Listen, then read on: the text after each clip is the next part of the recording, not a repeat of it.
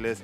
¿De viajar en auto o preferís que te Me encanta viajar en auto. Vos sabés que adoro viajar, me gusta mucho manejar. Ah, y siento, bueno, y siento relaja. que cuando, sí, disfruto muchísimo, disfruto de la música, disfruto del paisaje.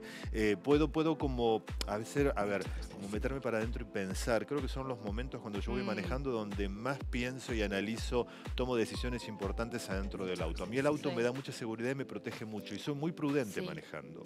Ah, Eh, el- los choques que he tenido no han sido por mí, han sido porque me han chocado o he llegado y el auto está chocado. porque- Entre la torta chaja y que los otros hacen los Pero accidentes. créeme, no, no, no, no, sé, no, no, no, sé. no, no. Ah, No, me estás vendiendo como que soy un desastre. No, no es así. Les aseguro que ¿vos no es así. opinás? Contame no, no, de Marlene, papá. ¿Y Marlene qué te va a decir? Papá es un divino, Papá es un genio, es el mejor cocinero y el mejor conductor.